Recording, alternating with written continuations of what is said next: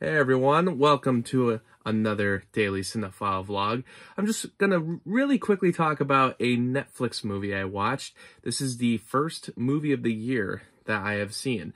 Yes, Megan was released in theaters in 2023, but it technically had its premiere in 2022. This movie is a Netflix release, and so it's technically the first 2023 movie I've seen, and it's Dog Gone. It's a movie with Rob Lowe as the father to a child named Fielding. The kid's name is Fielding. Yeah. And he has a dog named Gonker because get this. He is a college senior. He recently broke up with his girlfriend. He's not doing well mentally, so he decides he's going to get a dog.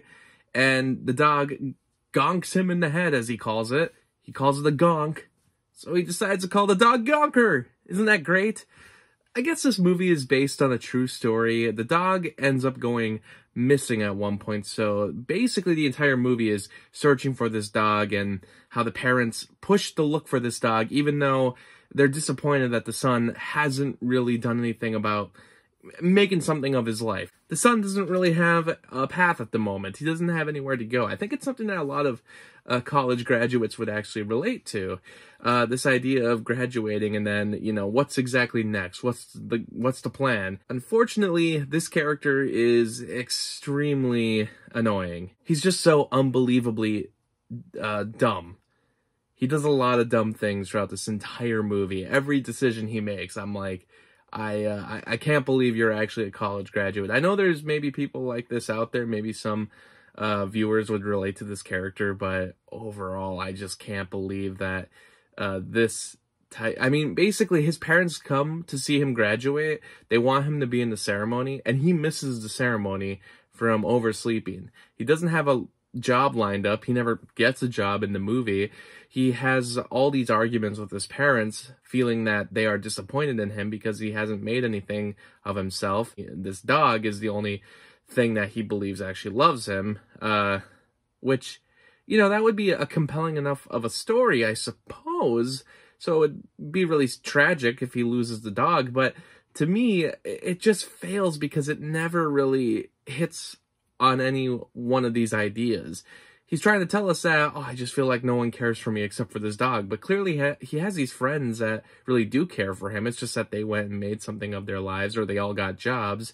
It's not really that they abandoned him. You know, one of his friends actually comes back to help him find this dog. The father is never, you know, overly aggressive or mean. You know, the relationship is pretty normal. They never really go anywhere with it. Uh, at one point, uh, with the mother, you know, she she feels bad for this dog that goes missing because she relates to her own childhood with one of the more ridiculous transitions I've ever seen. Uh, from seeing her as an adult to being a child and losing her own dog. Rob Lowe is in the movie as the dad, and you know, I I, I like Rob Lowe fine enough. I think he does fine enough in the movie, but that's the thing, the story's just pretty aimless. I know this is based on a true story, it's based on a book, but it's one of those stories where I'm like, they didn't really need to make this into a movie. I don't think it's really as interesting of a story uh, that, you know, it, it feels like a story you would read in a newspaper.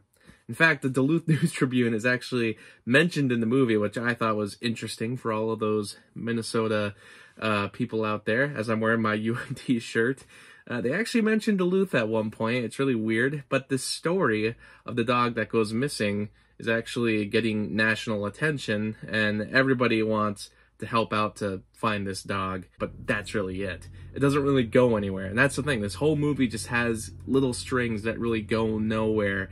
At one point, the kid ends up getting sick, and they bring him to the hospital, and it becomes a whole ordeal. He gets his, like, intestine taken out, and that comes out of nowhere. That's only happening because he's feeling sick throughout the entire movie, and it gets worse when he's looking for this dog because he has a ton of he has anxiety about it. He isn't eating, and he doesn't think much about it, and he doesn't tell his parents about it until it's too late.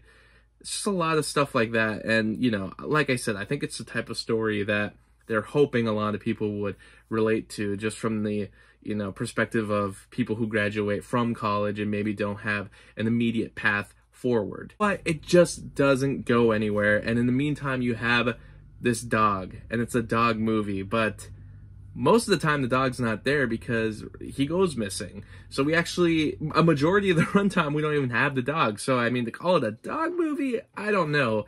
To me, I think they got rid of the dog a little too early.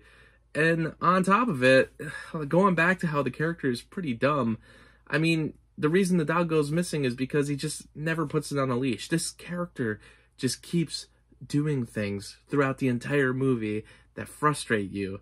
I get that he's in this position of feeling aimless. He doesn't know what his future is actually going to be, and maybe he doesn't have it all together yet, but it's frustrating to watch. It's shocking that there can be a character that is this dumb.